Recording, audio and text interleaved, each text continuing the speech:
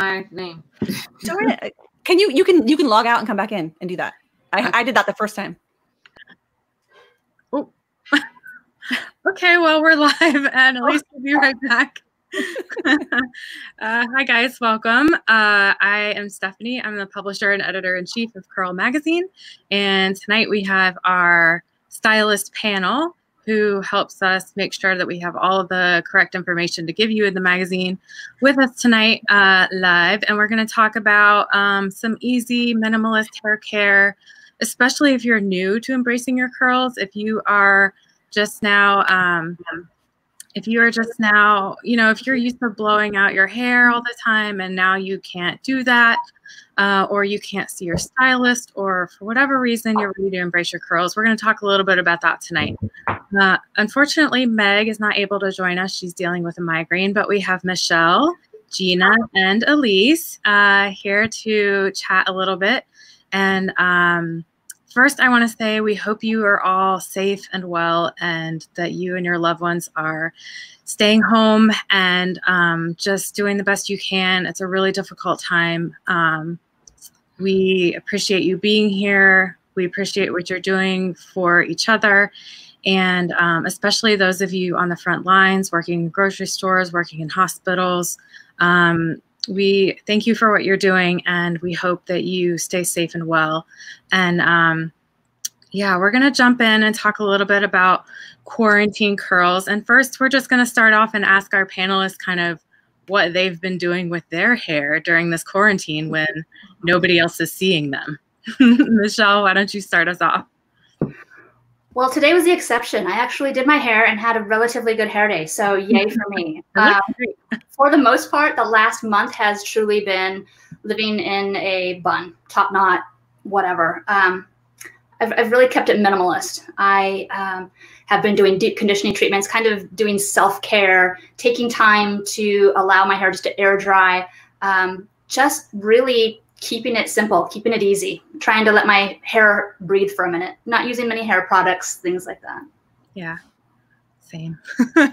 same. Elise, how about you? Um, my hair underneath this head wrap is a tragedy. Um, I've been going through some major uh, morning sickness, and I can't fathom the idea of shampooing my hair. So it's just been in this head wrap in the same bun for I don't know how many weeks, and I'm not worried about it. My husband saw me push a whole kit out. He's not worried about my hair being crazy. and I have the head wrap on just because I, I, don't feel like hearing it from y'all. I think you know part of the part of the cool thing is that you know we're just like everybody else. We don't always want to do our hair. I mean, we've got our hair like I just scrunched out my crunch right before. Gina's got her cast going, um, and so you know, it's real life. It doesn't have to be perfect all the time. Um, mm. Gina, how about you? Yeah, I've actually kept up on my regular schedule um, just because it's easy already and it's just keeping my hair healthy during this time. So I'm just doing my regular thing. If I don't do my hair, it's um, flat and uh, greasy honestly. So if i do it if i put the time into it and i actually i have my little hood dryer one of my hood dryers here. I said one. You're right. You heard that correctly. hood dryers at home Yo, hello. Yeah. I got this one, this little portable one. It's like 60 bucks. It's not a big deal. I got like my, big old salon one downstairs as a permanent fixture. And then I've got the purple people heater. You know, that thing is going around. Just, I bought that one actually for my videos to demo what people could have. So that's why I bought these ones. Um, so people could see what their options were. And then I just liked having them so much that like I got a dryer in every room. This is real life for me, and it could be real life for you. Probably. Meanwhile, I still my I still haven't used. but yeah, so tonight though, I um I mean this is real life. This really happens. If you're a client of mine, you've seen this happen. I sometimes wear my clips to the salon because I know that I want my hair to last a couple days. And for me, that has everything to do with drying. So uh, you guys are gonna get to see me like scrunch out the crunch because this is this is real. This is really happening right now. So I'd like to wear this hair through Monday. Yeah, I actually have that. Um, we're going to talk about that in a couple of minutes about um, how you can make your hair last for multiple days. Just because we have time to wash it right now doesn't mean that we want to. Mm-hmm. Um, so we'll talk a little bit about how to make your hair last. Um, let's uh, shift a little bit to say somebody who's been getting a blowout every week or they're new to embracing their curls. They haven't been able to see their regular stylist and they've said, you know what, I'm going to try this for a little while. Yeah. What, where do they begin? What, I guess that's, that's the question. where do they begin? Um, well, using products that aren't heavy in oils and butters. I mean, I'm sure you guys are going to jump right in there and say the same thing. Same thing, oils and butters and silicones. Especially if you're on the j- beginning of your journey, you want to get hydration into your hair. That's what curls need. So if you have frizz, you need water to get inside your hair. And if you've got anything sitting on the surface, over time, things are going to build up. Um, and if you're using products that are going to sit on the surface and block the hydration from getting inside, then it's going to dry out and you're not going to enjoy your curls. So, this is a great time to start detoxing that off so that you can get water inside and spend time with your conditioner. That's what I have to say. Yeah. Um, have realistic expectations. Um, if you've been straightening for a really long time, um, no matter what your curl diameter is, because um, I don't really like to say curl pattern. Everybody's curl pattern is different, but whatever your curl diameter is, um, it's not going to be what is actually growing out of your scalp. That heat has stretched it. Um, so you may have a tighter curl at the root, a looser curl at the bottom, straightness, and it's not going to match. And so be patient with yourself, give yourself some grace. Um, know that one, you're just starting on the journey of curls. Two, you got a lot of different things going on at each point of your head. How how long have you been flat ironing? That that bottom part, that uh, end part, you've been flat ironing way more than you've been flat ironing the roots. Um, and know that it's not going to come out perfect. You've got to learn your way through the hair. Um, and there are plenty of stylists who are doing virtual consultations and um, have courses and communities right now um, that can be guiding you before you go ahead and have that curly um, hair appointment once we open back up outside. Yeah. Absolutely. I think it's easy to fall down that curly girl rabbit hole. And I know even myself as a hairdresser, um, before I became a curl specialist, when I myself started embracing my own curls, it was a lot. It was a lot. And I figured if I was a hairstylist and had a hard time finding, you know, real information, how were, you know, everyday people out there who aren't hairdressers having, um, you know, are they having trouble finding information? Because I know that I was. So absolutely, don't don't waste your time looking um, combing through the internet. Uh, you know, I, I, would I would definitely use the resource guides. Find um, a stylist. Uh, reach out to somebody that has a course. Um, enroll in a virtual consultation. Absolutely, I couldn't agree with you more, Elise. That's great recommendations. For yeah, sure. We have uh, a list at readcurl.com slash consultations. If you are interested, um, we've been putting together a list of stylists who of curl uh, specific stylists who are doing online consultations right now because they can't be in the salon. Uh, if you're a stylist and you're doing these and you want to be on the list, um, you can find out how to get on it at that same link. Um, so you guys check that out if you're interested in finding somebody to talk to about your hair during this time while you can't get into the salon. Um, hi, Laurie. France. yeah, see a lot of curl friends popping in here. Camille, Adriana, my my hair twin. yeah. So um, really, oh my goodness, I just thought about that. And y'all's curls are almost exactly the same. Yep. yep. so let's keep talking about uh, the newbies a little bit. Um, what's the most basic kind of minimalist products for a newbie or somebody who doesn't have the time to try a bunch of different things? And um, what you know if you were telling you know if you have somebody new come into your chair and they're like i can't you know buy 47 different things what kinds of products are you telling them are the the base for what they need so for at home use i'm telling a client usually to get an all-purpose shampoo so we're, we're doing um, all the detoxing and clarifying in the salon. I don't typically send a client home with clarifying shampoo because I, I love consumers, but there's a habit of like, oh my God, my hair feels great. Let me do more of this. That's not how clarifying shampoo works. Right. So home with a shampoo that is going to be cleansing enough, but not over cleansing for their lifestyle and what they do with their hair. A moisture shampoo, a moisture conditioner, and one to well probably two to three gels typically because one i live in georgia. I live in a very humid climate. It is a very hard place to just put one product on your hair. Mm-hmm. um, i do not send my clients home with creams. I do not send my clients home typically with foams uh, because those have a lot harder learning curve and those are more um, style desires once you know the rules you can break the rules with those things. Um, so i'm sending them with a very specific step by step of do this with this do this with this.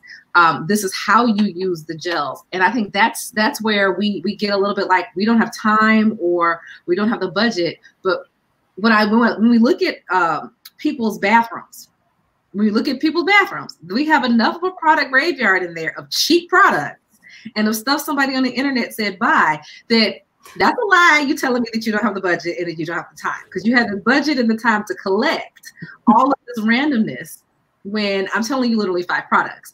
Um, so that's where you're starting out simply with high quality, great brand, great ingredient, all purpose shampoo, moisture shampoo, moisture conditioner, two gels. Mm-hmm. Simple routine. Go do that for three to five, three to five months, and then we can go tweak some things once you've mastered that basic minimalist um, routine. Yes, routine because hair is. Actually, I just posted this in our community today. Hair is not a routine hair is a baby. it needs what it needs when it needs it. A mindset of like, okay, I do this and that's it. Because the hair is going to tell you what it needs. You just have to know how to hear it and listen to it.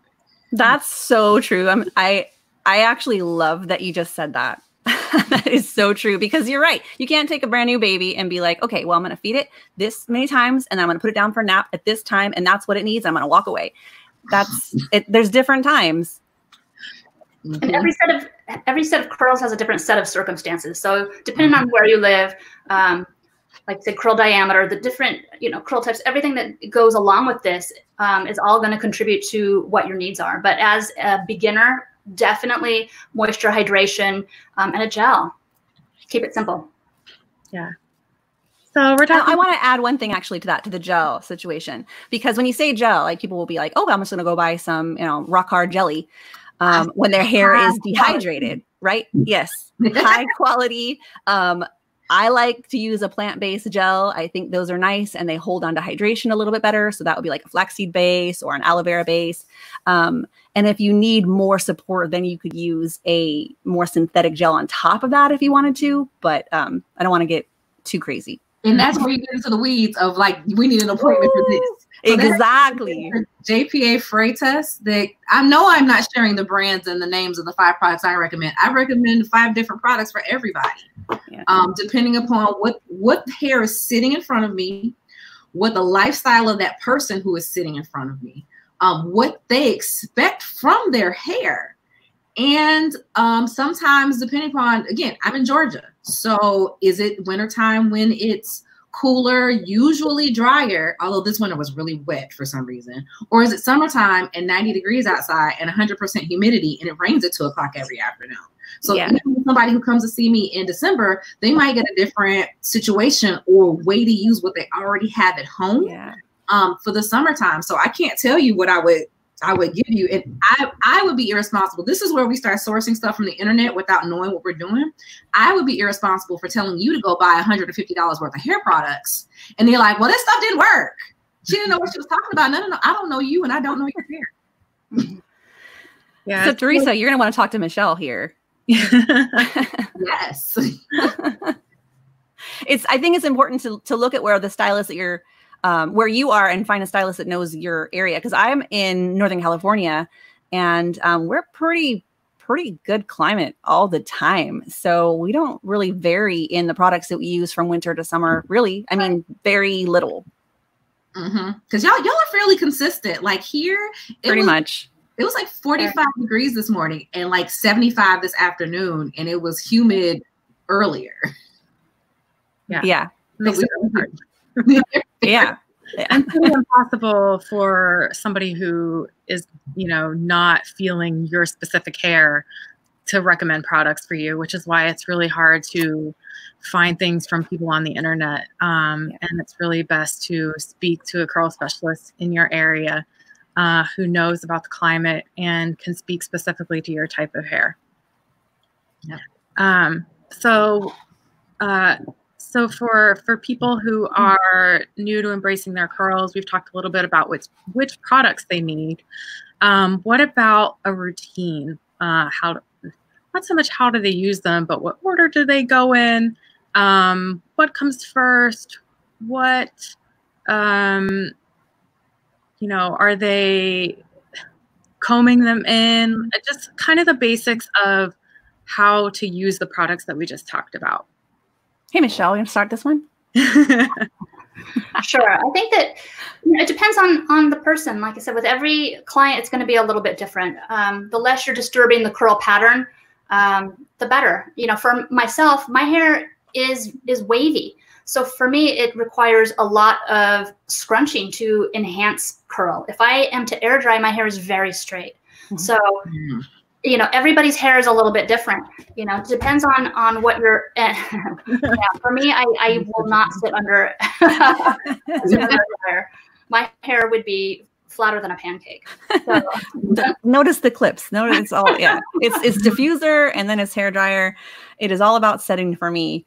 Um, as far as for when I'm talking to a new person, um, I think a lot of people don't like. It's really easy for us as hairstylists like, oh yeah, it feels like this. We want it to feel this way, and I know what I'm looking for. But people don't necessarily know what they're looking for. They feel their own hair. We feel like so many different textures and types, and um, you're working on your own head, and you've never felt it before. For one thing, if you've been using and I don't want to get on this whole silicones are bad type of thing, whatever. But if you've been using silicones, you don't know what your hair feels like. It feels mm-hmm. slick with the silicones on. And when you wash them out the first time, it might be really scary. I'm like, my hair feels so dry because that's mm-hmm. what I hear. My hair feels so dry. And that's actually just your hair. You've never felt it before. So get used to how your hair feels. And it takes a little while. So for me, when I have new clients in, um, for the longest time, it was I wasn't even cutting anybody the first time they came in. I was just um. detoxing out all of the stuff on the surface. Like that's a real good cleanse. That's what that means for me is a really good cleanse, pulling off the surface stuff, pulling out any mineral deposits because we have hard water. And if you have hard water, you've got mineral deposits in your hair. So pulling all that out so that you can get water inside so that your conditioners can actually work as opposed to repelling the hair away from each other or um, getting sticky and rubbery so that you don't get smooth curl clumps because that's what you're feeling sometimes. It's like it, it just does, doesn't clump together you need to remove everything out of the way so that your products mm-hmm. can then work. So that I was working with new people and then b- before we closed down and then sending them home for like 2 months to do that routine and not expect fantastic curls, but just to take care of the health of the hair so that when they came back in, we could review that process and then actually get a good cut. But now, I don't know. I think everybody needs to be doing that process at home because they're all you're all going to come in and bombard us as soon as we open back up, and we'll be like, "Whoa!" So if you take your care of your hair right now and like detox all that stuff off, and then put work on getting hydration in, your curls will be much healthier and and just in better shape to get a cut when we see you, so that you can get a better um, result I? That, that goes for, that goes from a four hour cut to a two hour cut. Uh, because you're right. I actually I don't send anybody out without cutting because a lot of times when I'm seeing uh, most of my clients, well actually almost all my clients are tight curls, yeah. um, and tight tight wavies. So I have to cut. Like they've got single strand knots and breakage and um, the Patti Mayonnaise because somebody cut their hair straight, and so they got a whole force MD back thing going on back here. It's uh, it's a whole lot that I get in this. Um, but for my hair, like I Michelle, you said you have you have to diffuse. I cannot diffuse until my hair is like eighty percent dry, um, unless I want to fro, which is fine some days, but that's not what I was going for. If I actually went and like set my hair, I have I have to sit on the dry as well. Not with clips because it's going to be full anyway. No, but that's a good point though. Yeah, so it's like how we can't really tell someone mm-hmm. without knowing their hair. I mean, you have the basics of what we we like to call. I'm also part of um, the other half of Black Girl Curls, and it's cleanse, condition, style. Mm-hmm. Cleanse condition style. I'm, I'm not. I am not a fan of co-washing. Co-washing is something you do middle of the week. Mm-hmm. Yep. Middle of the week uh, just trying to tide you over to the next shampoo session. There's almost nothing in conditioner and a, and a lot of, I won't say all, but a lot of co-washes is actually going to then remove the oil, butter, silicone, environmental debris, everything that we're exposed to, um, especially for those of us who live in major metropolitan areas. We've got um, environmental debris just floating around here. There's five homes being built in my subdivision. Mm-hmm. I'm sure there is all kinds of stuff. And the pollen. I was gonna say you guys are having the pollinating, right? Oh yeah, but we are in the pollinating. And so when yeah. I'm like, oh, you got Rona, no, I got allergies. uh, but when we're doing that, it's like we we have to start at the cleansing process. That is the most important part of anything that we're going to do with curls because once your curls have and, and we don't really talk about this much, but what is the purpose of conditioner? Conditioner has mm. fatty acid conditioning agents, emollients, which are things that are going to come and lay on the hair. They don't absorb; they just lay on the hair. Humectants and vitamins, um, all in the in the ingredients. What that what the purpose of conditioner is to come in and smooth, meaning mm-hmm. sit on the surface, smooth out hair. So if you've never cleanse, you have dirt, oil debris, the fried chicken you ate on Thursday, um, Taco Tuesday with the margaritas and the mezcal you just had, and all that's excreting from your scalp. Your scalp is an escape point for what's going in your body, yeah. and you're then going to come put some conditioner in that's just going to come smooth on over that. And so by the time you have layers and layers of conditioner on the hair, that's just smooth it out and smooth it out and smooth it out. Yes, you get to a point where it feels soft. And that is an artificial dry soft, especially because if that conditioner has a lot more oil content or um, silicone content, PEG content, um, glycols. There's there's a couple of other ingredients that are in there. And the reason why we don't say product brands because the brands I actually a lot of us use the same brands, but we have some brands that we use separately, and we could mm-hmm. tell you here's five products from what we keep in this, our stash in our salons that will achieve the same result, but they'll be different products. Mm-hmm. But we also have to teach you how we use them to do what we do. Um, to get the results that you're looking for. So I did want to answer her her question about needing help. This is where you need to grab one of these virtual consultations. If you have tight curls and you have relaxed hair, then you want to go for somebody who works with tight curls. If you go to, um, do you mind if I, I tell her we have a directory of stylists? for it. uh, at Black Curl Magic, there's a directory of stylists. There's actually one at Sunrise. It shouldn't be that far away from um, Fort Lauderdale. They be they might be able to help you out uh, because if you have six inches of curly hair and like 10 inches of relaxed hair, they're going to be fighting each other. They're literally yes. going to be fighting each other. And it's not the natural hair, it's the relaxed hair. Yes. And that's what's going to give you the grief. The natural hair is sitting there like, I'm just waiting on you. Yes. so yes. that's where you're going to probably, that's where you're probably having your struggles. Um, and when you have those, uh, your curls are like Stephanie, okay, yeah. Even if you have a relaxer on these, they're still going to keep give you. Stephanie's curls aren't that far off. They're finer and silkier than mine, but they're not that far off than mine. Um, but if you still have relaxer on your ends, your ends are what's going to be doing this. Yeah they're gonna be doing like this, and you're gonna be fighting, and then you also have to treat that relaxed hair like it's natural, and probably be replacing the protein that you're not that you don't have in that relaxed hair because relaxers come and change the entire protein structure of hair. So you need probably need that support as well. yep Can you guys talk a little bit about the importance of water um, mm. for people who are coming into this new? Um, uh, we've talked about products and routine, but so much of it is about the hydration and the water. Um, yeah, everybody thinks it's like the conditioner, right? Like I need more conditioner. I need more conditioner. Maybe it's not this conditioner. I need another conditioner. Uh, what you need is the water to get into your hair. And the water should be able to pass in and out freely. Like I want to just say that real quick. The water should be able to pass in and out of your hair freely. And it is the humectants and the left behind conditioner that are holding on to a little bit of that extra water. But you need the water in the hair, not just on the hair. So that's why um, cleansing, that's why Elise was saying cleansing is so important. And I think when you go out there in the curly world, uh, the the the dark curly world, right into the web, and you're like searching for whatever, you're like, oh, we shouldn't be washing. No shampoo, shampoo, no shampoo. Like I, I think all of us here are in agreement in that. Yes, little head nod. Yeah. Washing is so important, but washing every day isn't going to be a good idea. So, so mm-hmm. part of it is right. And, um, but cleansing is, is so important so that you can get water in. You need more water. And then whenever I'm talking to a client about like their curl is separating, it's not staying together in a clump, you need more water. And if the water didn't do it, then add some more product. Mm-hmm.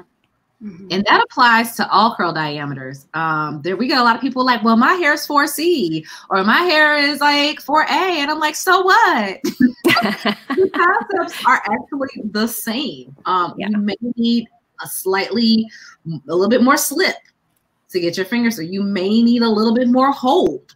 Um, you may have to change your drying procedures, but the hair is the same. You gotta that hair has to get water. I was actually just answering a comment um, on Instagram where somebody's like, "Well, if you don't add a moisture uh, product underneath your holding product, your hair is going to be dry." And I'm like, "No, that's why your hair is dry. That's you're all the milks and the butters and the this and the that, trying to moisturize, and that moisture layer is what's actually impeding the water from getting in the hair. So I, have had clients go in and I wet their hair and I have them feel it. And then after I've detoxed them, I have them feel it again. And the difference between hair that has water sitting on it and hair that has actually absorbed water. It's very, there's a two very different feelings of hair. Once that hair is sucked in water like a sponge, everything that we put on top of it is for that hair to hold that in like a sponge. So when we're coming back on the back end with botanical gels that have humectants in them. Humectants are the actual ingredients um, in styling products that help the water that's in the hair to stay in the hair.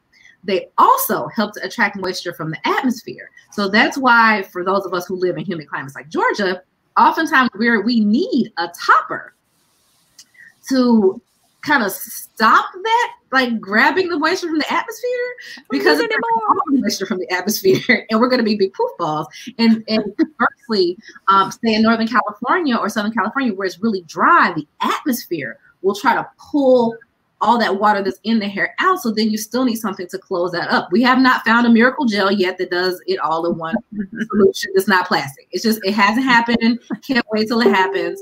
Um, but all of that, everything that we are doing in styling is surrounding that water in the hair and then strategically removing the water to create a set. we understand setting, the basic concept of setting, whether it's a pin curl or roller set, whatever, is taking the hair from wet to dry in a form.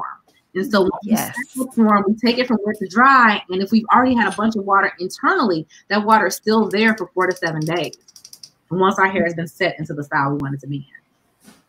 And I think yes. myself on my personal journey, when I was discovering my my waves and my curls, I, I think that hydration was the most underestimated of all things that were necessary in my routine. Um, you know, I, I, think that through the years, if, if you're just new to transitioning, you have no idea uh, about about the importance of hydration and just truly how much water is necessary. Lots. alarming to me. right. Yeah. Cool. Uh, so let's let's talk a little bit about um, you know we're all stuck at home. Nobody's really seeing us unless we're doing uh, video calls, and I know a lot of people are. But um, is now a good time? Well, we we did establish that now is a good time to be doing things like detoxing your hair so that when you do get to go see your stylist, they can just go in and do a really good cut for you.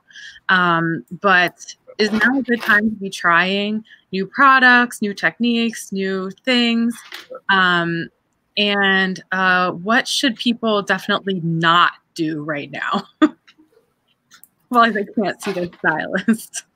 I'm gonna I'm gonna start with this one. Yeah. yeah. Please don't cut your own hair. Let's start there. yeah. Uh, you know, there's there's a lot of things that you shouldn't shouldn't be doing. Um, again, it's easy to fall down the rabbit hole, but start with a simple a simple uh, routine. Like like we had already stated, concentrate on on hydration, on um, you know, a routine of a set, however it is that you decide that you're going to set your particular style, depending on, um, you know, the curl type, curl diameter, um, depending on how it is that you want to wear your hair. You know, before you find a stylist, find pictures of of your goals. Find pictures of the type of hair that you'd like to have.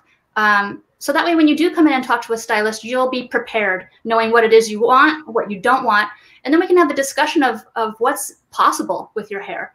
Um, because a lot of times people have unrealistic, unrealistic expectations.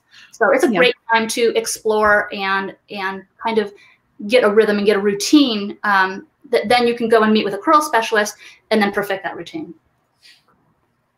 Yeah. yeah. You can also, um, I'm not a panelist, but I think for me too, it's just, um, you know, hearing these women say so often, you know, the, the recommendations that everybody wants them to make, it's all, it's uh, so much of it is based on what you want your hair to look like.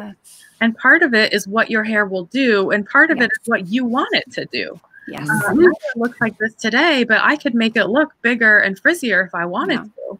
Um, mm-hmm. And I think you can take this time now while you're at home and you're not running into your coworkers to figure out what it is that you like um, yeah. hair to look like. Uh, if you like it bigger or more controlled or um, you know half back or whatever, you know you can play with it and and not have anyone you know judging you uh, for what you're doing with it and kind of figure out what you want your hair to do because then when you do go into one of these stylists and you say I really like this haircut. Is this possible? Then not only can you have the discussion about if your hair will actually do that, but then you can also figure out, you know, how to style it.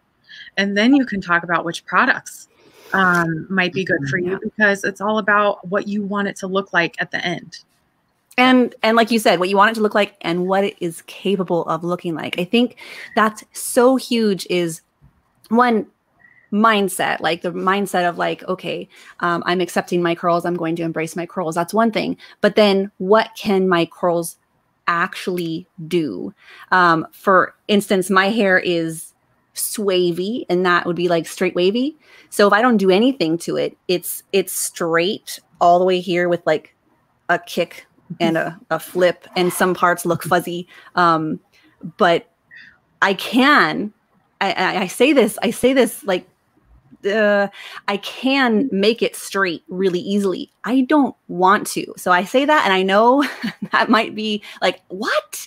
But no, really, I don't want to. Um, I wore my hair straight for a long time, and I feel for me, it just doesn't, it's not my personality. It's just flat and straight. And for a long time, honest, I thought that's all it could do. And if that's you out there in the world, if that's what you think, your hair, you have to blow dry it, you have to flat iron it because that's what it can do. And if you don't, if you do something else to it, like let's say you tried to go curly and you air dried it because that's what you were told is the best thing for your hair. If you have hair like mine and you air dried it, that was it was crap. It was absolute crap. It looked terrible. So the best thing you could do was blow dry it and I mean, I'm serious, but like, you know, this is I um I get body and I get fullness and I get my hair will actually last for a couple days. I'm gonna do it right now.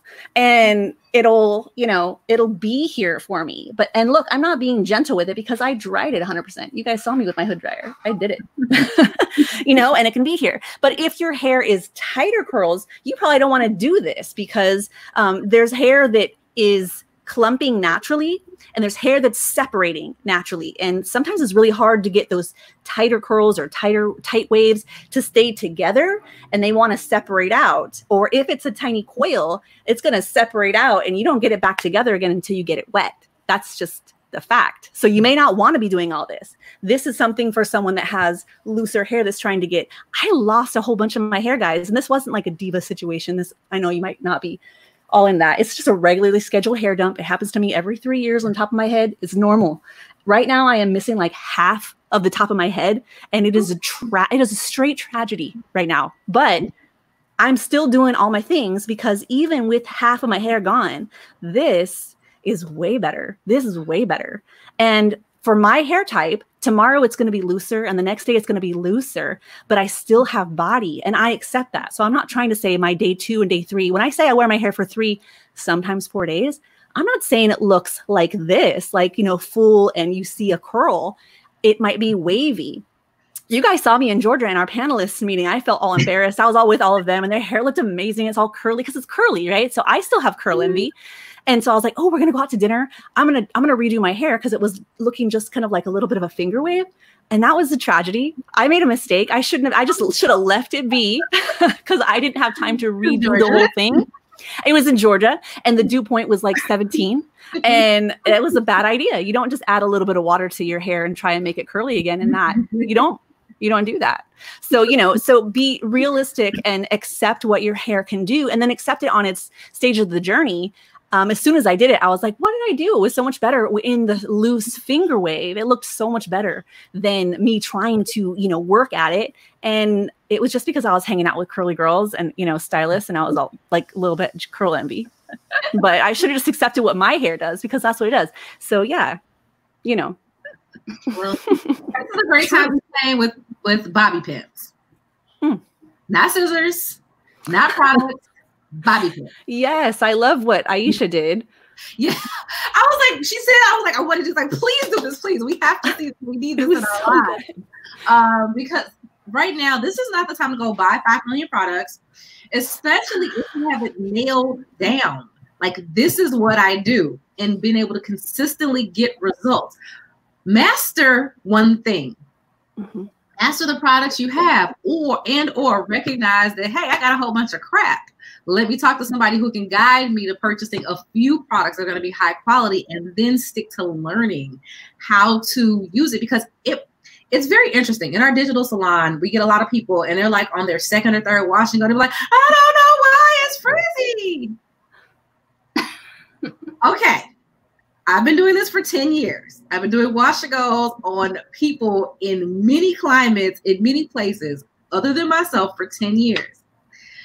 It's very unfair for someone who just started, who's just not even just getting the physical like dexterity to properly do their hair at home to then compare and say, well, my hair doesn't look like what you did. And I'm like, people pay me real American dollars for this. I, I need like you never paid me for that. No, they would never pay me. So I need mine to look different. But this is where the time we take to practice, to hone and say, hmm, I use a little too much of this, not enough that. It's a little too big. It's a little too small. Um, but perfecting what we're doing. And then if we're like, hmm, I want to, like Stephanie said, I, I need to figure out if I want up or down or bigger or flatter, use some bobby pins. use try to use a pick. I'm not a very big fan because I like when life, uh, my hair doesn't really lay flat. It's kind of big on day one, but it grows and gets bigger and bigger and bigger and bigger. And I won't, I go like 10 days and in 10, day 10 looks nothing like day one, like um, Gina said. So it's about working on accepting Mhm. what your hair is doing, working on your physical dexterity, working on understanding how to achieve the thing you want, and then knowing that is it realistic for me to be able to achieve it, and then does my hair do it? Um, because we we have to grant ourselves a lot more grace, especially folks who don't have a natural knack for hair or who are not licensed professionals. Yes, your set may not look like one of us did it because again, we do this day in and day out and have for years. But your hair is going to look great as you practice it. Mhm. Also, dry dehydrated frizz looks totally different than hydrated, just healthy frizz. I mean, right? Yes. Uh, Sharon said, not a time to unicorn cut either. Yes, co-sign. You know, the percentage of people that can do a unicorn cut and look good is very small. What's a unicorn cut? Please tell me. Oh, girl, it's when you pull everything forward like a unicorn horn and then you Oh, cut it. that's not something anybody with tight curls is out here. No, no, no. I hope not. I hope not. No, a lot of people talk about it in groups like, oh, I did a unicorn cut. I did a double unicorn cut. They make up all these names. And then um, they do this. And some people are like, oh, it looked all right. And then a lot of people go, yeah, I did that and it didn't work out.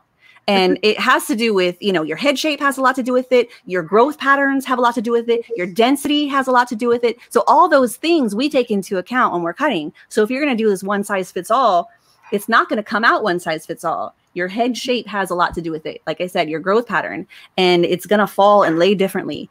Um, like look, look up. It's going to look like a mullet. and you know, those are, you know, I mean, mullets are coming back. I back. was going to say, but intentionally. yes, yes, intentional mullets that are that are fashion. Make it fashion. Yes. Let's talk a little about um, making your hair last. Uh, like I said at the beginning, just because we have a lot of time to wash our hair now doesn't mean that we want to. Mm-hmm.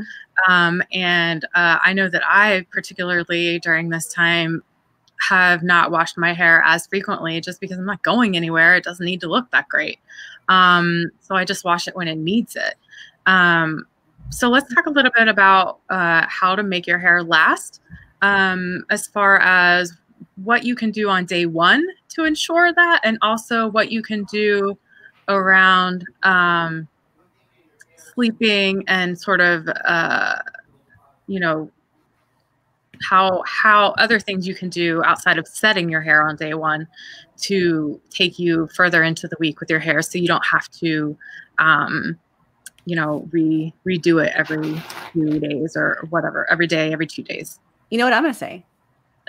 Set your hair you, on. You already know what I'm going to say. I'm going to pull out. Take the time to dry it before you touch it. I know that's not everyone's story, but um, if your curls fall out, if you're more in line with a wavy um, hair, if your curls are going to fall out, then they're not going to last. If you just air dried them, they're not going to. They're not going to be there for you multiple days. Michelle, how about you? Yeah, I think part of protecting my hair goes into uh, the sleep. excuse me, the sleep routine. Um, I have run the gamut. I have tried everything from a buff to a scarf to a bonnet to just a silk pillowcase. And for my hair personally, I don't move around too much in my sleep. So a silk pillowcase with my hair put up on the pillowcase works sufficiently for me. Um, whereas for my hair, sorry, my lighting's off today, guys. um, for me, when it comes to um, wearing a buff, it really um, straightens my hair mm-hmm. and um, flattens my hair. So for me, I, I, started with a buff thinking that it was going to be the end all be all. And, and for my hair, it was not. Um, again, it was, um, I think everybody has to do some trial and error.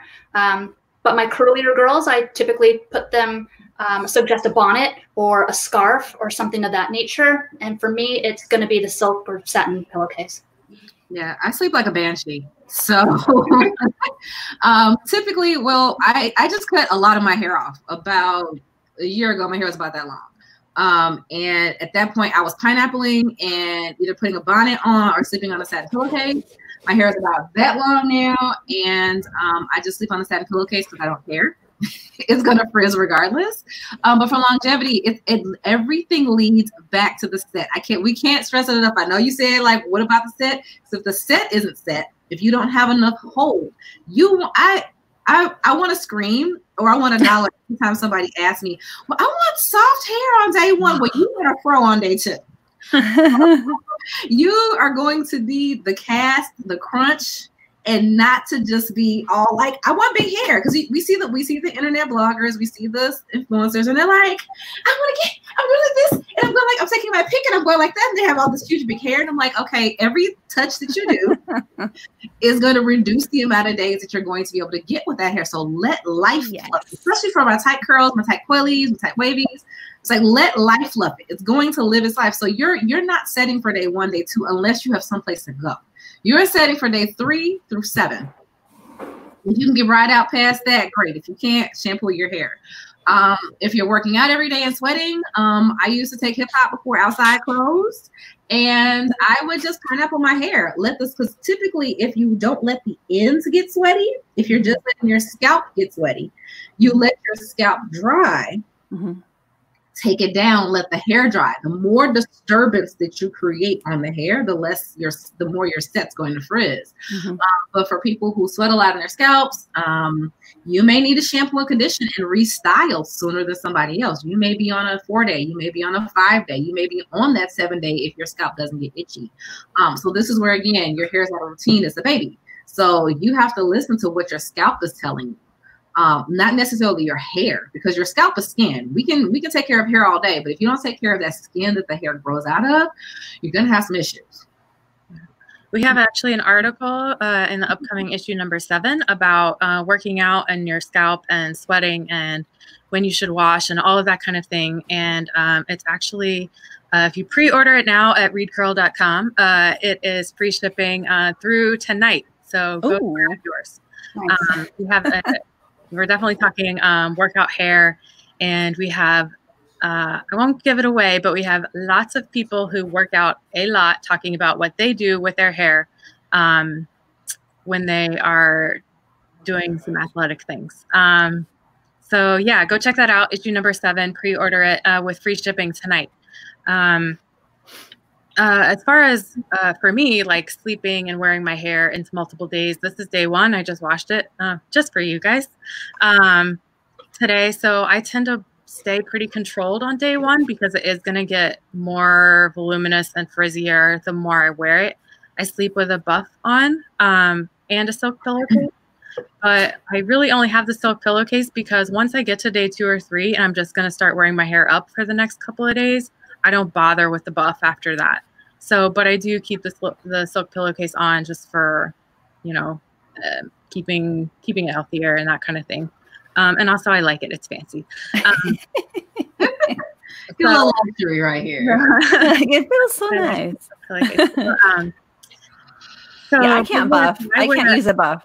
A little more controlled on the on the first day, um, so that I can get more days out of it. And so, you know, like Elise was saying, if you mess with it a lot and get it really big and set the way you want it to on day one, you're that's it. You know, it's going to be bigger and frizzier after that. Um, so prepare for you know what you want through the week um, when you're getting ready on your day one set. So that actually makes me think about something. So when I have clients who have been with me for a while, they come back in and I am confident that their routine is is good and they don't want to waste all the time in the salon doing all the things when they can do that at home. So I'll have them come in ready Mhm. with their hair set and I'll do a dry cut. So it's pretty fast. You're only in there for about 45 minutes. So that's less time in the salon for you and it's less expensive after you've gotten the routine down. But here's the thing they come in with their hair with their set, and after the cut, I've worked through it. It's this gorgeous big shape, right? That you see a lot of times on Instagram. And then they they leave with that, right? And it's gonna be less time now that I've moved it through, it's gonna be less time for that wash day for them Yeah. if they're coming in for a full service and they're coming in and they're set, let's say they're set and I cut them and then we go back and they've, they've got this gorgeous shape and they go back and we wash, then it's much more condensed after it's been set in preparation. So they're leaving a little more condensed. They're leaving so that they can wear it a couple more days. Because like everyone's saying, the more that you the more that you zhuzh and fluff and make it big and pick and add hairspray and add product on day one, it's gonna look great for that Instagram photo but it's not going to live for you. You're not going to get that. You know, um, I, I know some wavy influencers will will go on and they'll make their hair really really big and then they'll show their refreshing and it's just a whole bunch of of diffuser you know like this with with more product i guarantee you it doesn't feel good i guarantee you it doesn't feel good Ooh. it's all I know. I I don't like personally. I like hair that is um is touchable. For me, I can't do that whole day one condensed thing because you guys saw me at the beginning with my clips in. If you didn't, go back and look at it. Um, I it- think it- it's cute. okay. when it was no, this is fine. But when it was all in its cast and I and you can see my scalp. Uh, mm-mm, mm-mm, mm-mm. No, I got to do some fluffing. So yeah. Mm-mm. Oh yeah, this is definitely fluffed. It's just not fluffed like a lot. Right, right. Fast, but yeah. for sleeping though sometimes like i can't wear a buff and my hair's long not, not long enough for a pineapple that's just ridiculous i'm not going to just pineapple that like that's not going to work out. So i just sleep on my satin pillowcase and if i'm particularly in love with like this and, and it because it was flat then i'll just take a couple clips and i'll just like clip right up on the very very top. My husband loves it. I'll just like clip a couple just like in like that. Like hey baby. Do what you gotta do. and then that way I at least preserve some of the height that I've worked so hard for. Hmm So since we're talking about kind of wearing your hair into day two, three, four, teen, um, let's say uh, since we're all stuck at home right now, uh, somebody's boss wants to have a video conference in 10 minutes and uh, I'm on day, I don't know what hair. Um, what do you recommend? You're gonna get what comes out this bunny. You're gonna be happy. Because unless headband. somebody over here to take care of this three-year-old and clean this house, you're gonna get what you get. yeah. I mean, a cute head, head wrap is an option. Head wrap is cute. Yep. Headband, updo. Messy bone. I'm just gonna, you know, throw in a little There you go. Um, bow, and I'm just gonna Cute. go. You know, if I felt it, my hair is fine today, but if it wasn't, I'd just be like, I'm just gonna bow it, or I'm gonna take maybe I'll take this side and I'll just like clip it back, and maybe I'll like put a little clip right there, and then I'll feel good like that. But yeah, Yeah. don't be afraid of clips and bows and headbands. Like, there's nothing wrong with that. Uh, so we had a question from Instagram from uh, Lori about DIY treatments. Um, Oh. While we're at home, is there any any DIY treatment that is actually uh, useful?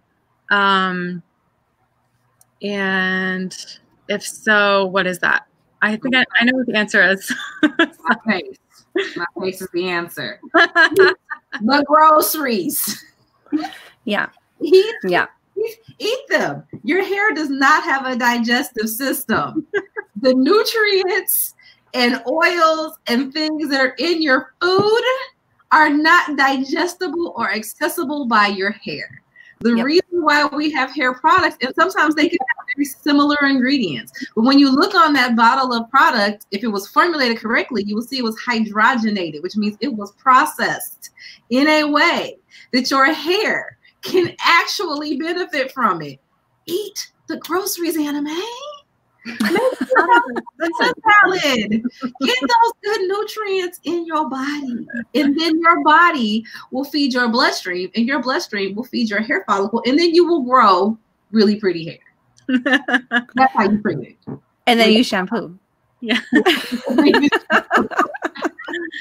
Gina, you talked a little bit earlier about specifically why. Um, well, when uh, when we were chatting a little bit before Yeah. we started the live, uh, Gina was talking a little bit about why specifically um, home DIY grocery treatments aren't always um, the best. Can you talk a little bit about why Yeah. that is? So the molecular weights of those um, whole ingredients are too large to penetrate inside the strand, and it's just going to sit on the surface. So if it's sitting on the surface, it's likely going to weigh down and build up, which any kind of buildup is then going to block hydration from getting in. And what is it we talked about a little bit ago? We need hydration. That's water. And we need that inside the hair. So those DIY things that you're doing, those aren't going inside your hair. I don't care if you're sitting there with a, a, a heated bonnet, if you're sitting there underneath a hood dryer like I've got for 30 minutes, that's going to raise up the cuticle. It's going to swell. It's raising the cuticle. It's not like a door. It doesn't open up like this. It's the whole strand swells up a little bit. So if you're if you're swelling your hair strand and then plugging it full of high um, molecular weight molecule things that are just going to sit in there, then the, then it can't shut all the way. So that's not a healthy thing to do for your hair. Um, like Elise said, eat those things and use things that were formulated for hair instead. I mean, there are uh, it's a very very small percentage of people that have hair that can handle some of the larger molecules, but you won't know who you are. and you're just going to hate your hair. I did an experiment just about two years ago. I was making some brunch and I cracked an egg and I, I mixed it in a bowl and made scrambled eggs. I had a baby at the time, but I kind of compared it to like if you're making brunch, you got the mimosa, you got the eggs, you don't rinse that egg bowl immediately.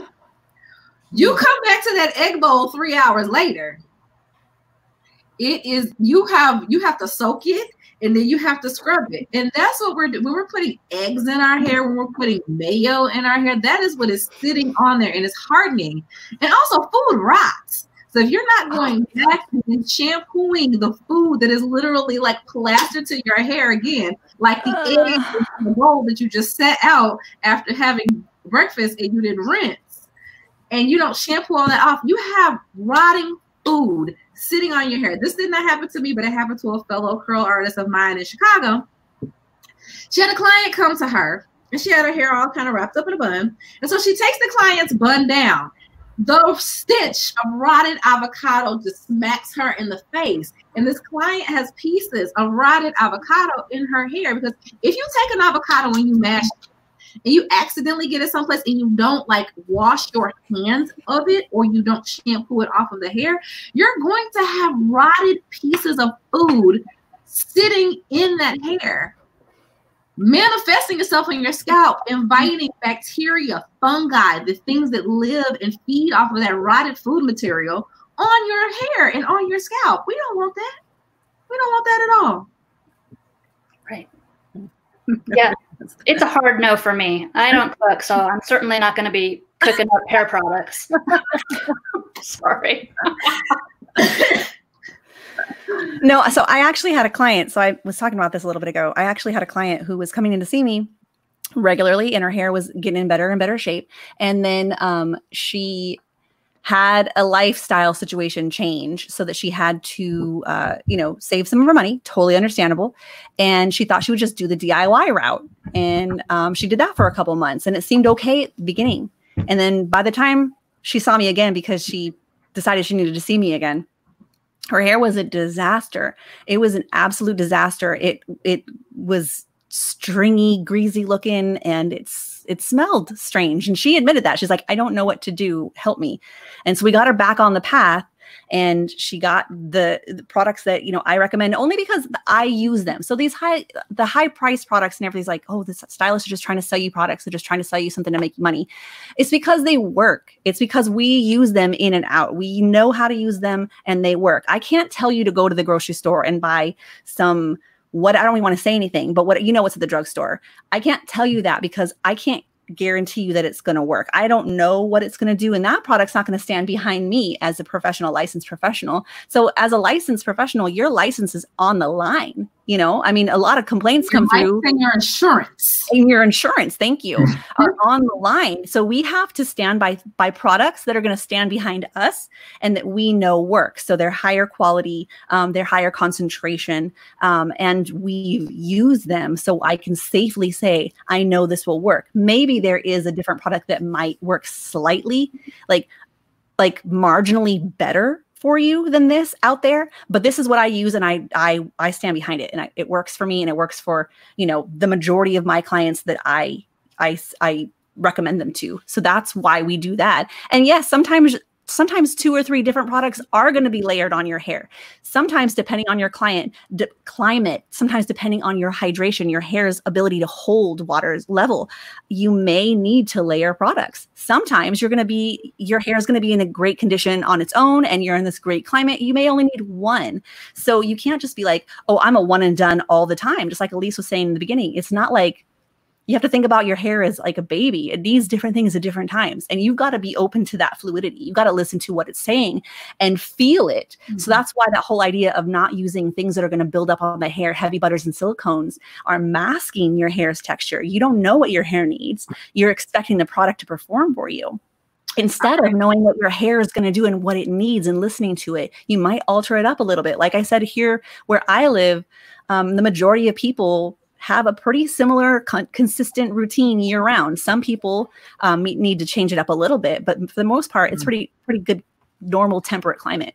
But that's not everywhere. I want I do want to address that comment because it sounds like either somebody hurt you or you don't have a clear understanding of how hair works or you don't go to see somebody regularly. it sounds like you might go see somebody every so often who you don't have a relationship with, um, who is just trying to fix your hair. See, there's two different types of clients and I'm speaking specifically to Lily Novi, there's two types of clients. There's the client who's consistent. There's the client who is plugged in and is invested. And when we come up with solutions in the salon, because they may come in, their hair may have been dragged through the mud. It mm-hmm. might have been on, on its last leg, about to like be like, I escaped from your head. And we put a plan together to have to put a compromise of you're going to have a great style results and you're going to have improved hair health and that plugged in client comes back for their maintenance cuts. They come back for their maintenance clarifying because yes, when you're coming to see me every 10 to 16 weeks, it's not the product. It's not the fault of the product. It's the fact that what we do, how we live, and the moisturizing products that I've sent you home with, yes, we're going to have to clarify again. You have hard water, you have calcium, magnesium, copper, um, whatever else is in your pipes. I'm from Chicago. I used to own a salon two blocks away from the lake. The closer you are to the lake, more sediment you have in your water.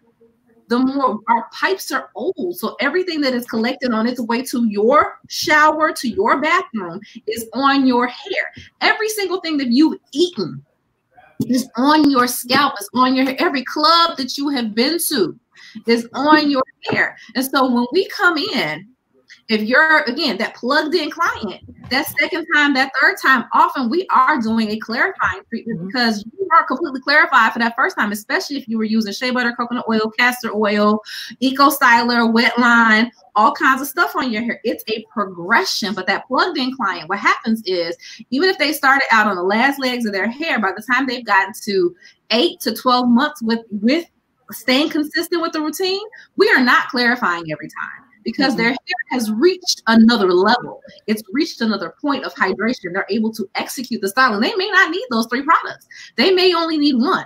They may mm-hmm. need two on occasion because their hair has gone from level one to level five. Now, there's another type of client who just comes in and has us mm-hmm. solve problems.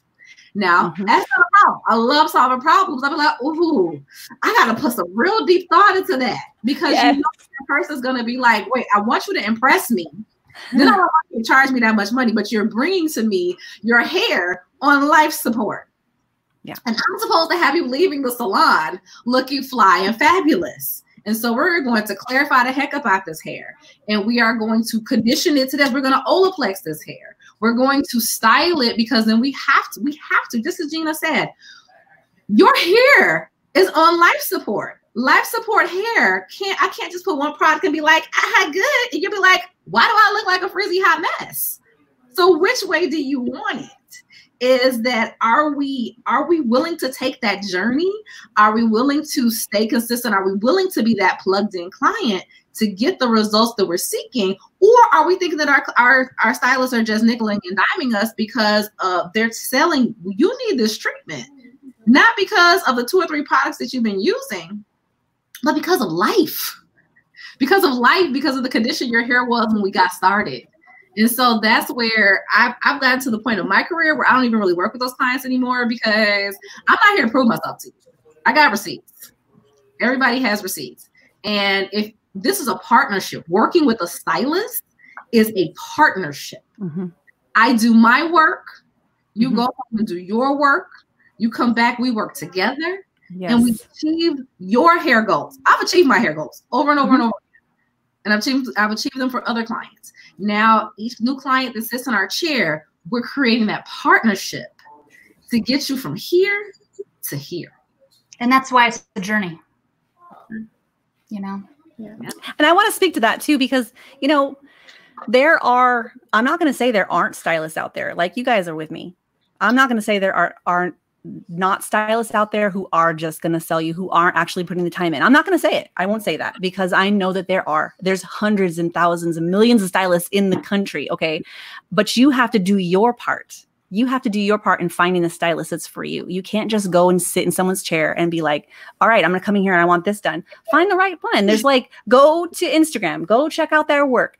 Um, schedule. I mean, if the, if your, your stylist does consultation, then do that. Or, you know, just follow them for a while. I know a lot of people just follow me for a while. Like, I've been following you for seven months and now I'm finally ready. And I'm like, oh, good. I'm glad I won you over finally. But, you know, I'm going on my day. I I am looking at the health of the hair. That's what my priority is: is the health of the hair and the um, the success of my clients. I don't know. I, I don't know any client, at least stylists, who don't have a, a heart of gold. I don't know a stylist. You don't go into this business without a heart of gold, without a service mentality. You just don't. Um, I mean, right? You don't.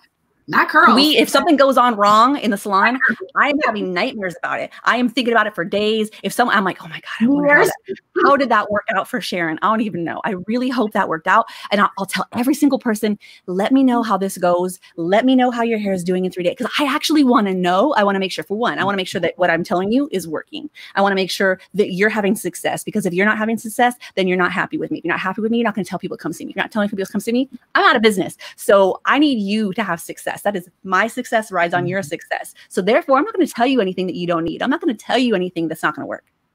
Right. And Irene Garcia, I see she said um, investing in each other. And it's exactly that. It's it's about building a relationship. Each client that comes and sits in my chair, um, you take the time to get to know not only the person, but to get to know their hair. And you grow together. You really do. 100%. Thank you guys. That was a lot of really good information too. No, I don't mean it in a bad way. It's just a, you know, it's it's good information to put out there and for people to digest and think about. Um, we have one more question from uh, Instagram earlier on. If we missed your question and you typed it earlier on in the live stream, type it in again so we can um, see if we can address it before we wrap up here. We're a little, we're just in an hour now, so um, we're going to wrap this up soon. Um, but if we missed your question before, type it in again and we'll see if we can get to it. But the last question I have on my list here was from Beth, who says that um, her hair has been growing out and one side of it, because of her pattern, is a little shorter than the other right now. And obviously, she can't get in to see her stylist. So, um, you know, what can she? What can she do right now uh, to to work with that? One Rock side is short. Hold on. One side is shorter because of I think her curl, just the way her curl, The curl pattern patterns are the way it different? grows. Yeah. diffuse the loose pattern and don't diffuse the tight. Mm. Boom. Okay. I'm like rock the high left, low right, and make it like the '90s. you gonna get whatever comes out this diffuser, this bonnet, fire. Well, and I think, uh, you know, Elise said too, you can do a lot with bobby pins. You know, Yes. if, if one side is not, if you're not happy with it, you know, clip it up or do something cute with it or, you know, make them intentionally uneven. And then it looks like you did that on purpose. And hopefully mm-hmm. that will help. Um, Or, or you could even tuck behind the ear, something like that. that's That's- cute. I know. So everyone keeps asking, when are you, when are, when am I going to make my appointment? I know I had to get it canceled. Uh, can I be in May 1st? Are you going to open up May 1st? Um, I don't know about you guys. I'm pretty sure with you guys it's the same thing. We have no idea. We don't know when it's going to, when we're going to open it back up. So I'm not taking any time to reschedule any clients right now. And most stylists aren't. And if they're smart, they're not because we don't know what we're going to do and we might have to cancel it again. And it sucks. But there's a lot of clients out there, like we said earlier, who are doing online consultations, um, who have courses that can help you through some of the process so that you can get your hair in better shape during this time. Um, and just try working with your natural curls if you're if you're new to it try working with it and listen to this you know a couple times again and, and call somebody and get some advice one-on-one um, it is a good time to to do that just to experiment Yeah, get get salon ready because right now I I know for me um because I'm pregnant I'm, I guess I should make like a full announcement since at this point I'm telling everybody um even when outside opens up I'm not opening back up uh, Right. because I live in a state that barely has any testing that the Yeah. governor doesn't seem to know what is going on uh and it seems to be a complete shit show so I'm just gonna be like I'm gonna let y'all be outside for 30 to 60 days first. right right. Oh my god. and then I'll come back in. uh, yeah there's no social distancing in the salon from your stylist. And for us like maybe for you guys you'll be like i'll wear a mask. Maybe she's wearing a mask or he and and i'll be good. But we've got you know i don't know how many stylist how clients you guys take every day but sometimes it's you know four to six or yeah Mhm. yeah that's about right. And boom boom boom. And i'm probably going to be spacing some people out between appointments which you know lowers my income for sure but just on the side of safety for everybody i don't know we'll see And so we're, weird We're, like, we're shampooing and we're like right, right over there, right That's there. the whole like the meme with the uncomfortable eye contact because you're like right here on somebody's face. There's no way not to be like, "Hey, girl, how you doing?" Way not to do that. Um, so just just help help stylists stay safe, help yourself stay safe. Learn your hair now. There's there's way too many great resources out there. Like Stephanie said, Read Curl has a list of who's doing virtual consultations. I believe there's also a list of courses and things that, that you can take, you can access uh, based on possibly loca- locality, uh, curl diameter, what you're looking for in your hair. So there's so much out there that you could be doing right now, especially if you have time. Like for those of us who are not like running around crazy having like meetings at home even when you have time to yourself just just take 10 15 minutes a day to look at people who are qualified sources and to understand start understanding what's going on on your head thank y'all for the congratulations I, that's why I've been that's why y'all been seeing me eat and drink during this because I don't know if I can do this guys because talking makes me sick but I'm I'm, I'm You're doing great. Pushing through it for us. yes, thank you. Um, I don't know if you guys have a minute more, but there's one thing that we didn't talk about, and that's for our essential workers who are working still, who don't have this time, and especially like nurses and doctors. You know, I've been getting messages personally. Um, What can I do? I, I have so little time, and all the nurses and doctors that I know, people that are working high contact, are wanting to wash their hair after every shift. I totally get it totally get it. So you're not necessarily trying to preserve your curls for two and three days. You're just trying to get rid of whatever was at the hospital or or there or the grocery store maybe and get rid of it. So I heard a lot of like how do I how do I do? I don't have time to diffuse. I don't have time to dry. I don't have time to do anything. And my answer, I want to hear what you guys have to say. My answer is don't worry about trying to have perfect curls right now take care of yourself um, spend the time a little bit of time with conditioner and water and get you know soften and hydrate your hair wash your hair for sure and then don't really worry about styling it. Like if you put a bunch of styling products on it it's going to take longer to dry. Um, so just do the minimal that you can you know use a little bit less product maybe. And i know if you have tight curls and a lot of thick hair that using a little bit less product it's not going to really do much. So elise if you could speak to that Uh, this is one of those times where I'm going to encourage everybody who can to cover their hair. yes Um, we tight curls, like we really cannot be shampooing every single day. Um, we can definitely do about twice a week, but if you have the option where you work to cover your hair, please do. Um, especially if you're in a hospital, making sure that uh, whatever is coming, your hair is covered. And when you do shampoo, make sure you can use a, the most moisturizing shampoo that's going to actually cleanse.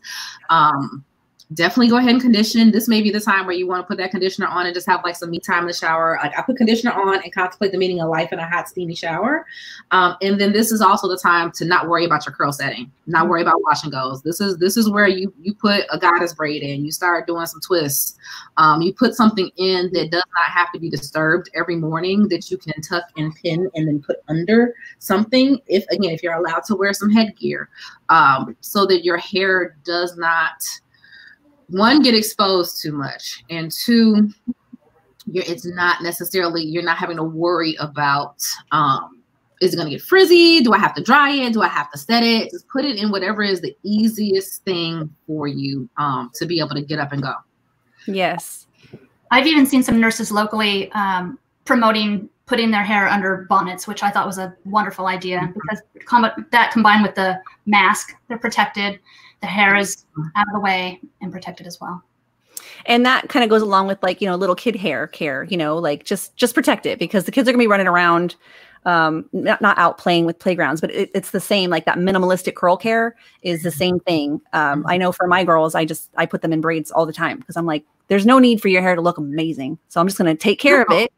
I'm going to take care of your hair so that you have good hair. And then um healthy hair rather not necessarily good healthy hair and then put it in a braid to just like let you be a kid. Yeah. Because my kid's hair looks just like my hair. We we we do not have cute hair in this house. No no none of the three of us have cute hair right now. It's just gonna be what it is. Yep. Okay, so one question was, can you repeat where the resources are to find stylists? Um, I'll, I'll let you, Elise tell you hers again in just a second, but we have one on um, Curl Magazine's website, which is readcurl.com slash stylist directory. And that is um, stylists who have partnered with us at the magazine. Um, there are tons of good people on there, so you can find someone close to you. And Elise, can you tell them where they can find um, people who specialize in tight curls who have partnered with you?